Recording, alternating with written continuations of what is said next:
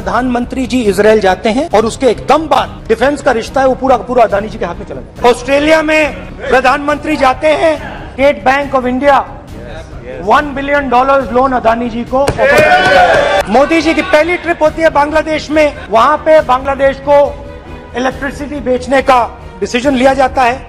कुछ ही दिन बाद बांग्लादेश पावर डेवलपमेंट बोर्ड 25 साल का कॉन्ट्रैक्ट अदानी जी के साथ साइन कर दिया। श्रीलंका में श्रीलंका इलेक्ट्रिसिटी बोर्ड के प्रधानमंत्री जी इसराइल जाते हैं और उसके एकदम बाद डिफेंस का रिश्ता है, वो पूरा पूरा अदानी जी के हाथ में चला जाता है। ऑस्ट्रेलिया में प्रधानमंत्री जाते हैं, State Bank of India one billion dollars loan Adani ji को मोदी जी की पहली ट्रिप होती है बांग्लादेश में, वहाँ पे बांग्लादेश को इलेक्ट्रिसिटी बेचने का डिसीज़न लिया जाता है।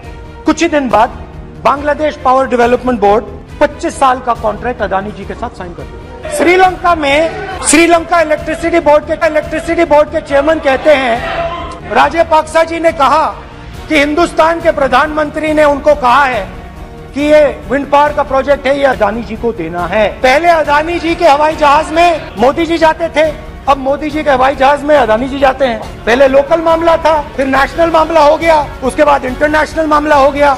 ये हिंदुस्तान की फॉरेन पॉलिसी नहीं है, ये अदानी जी की फॉरेन पॉलिसी है। उनके बिजनेसेस बनाने की फॉरेन पॉलिसी है।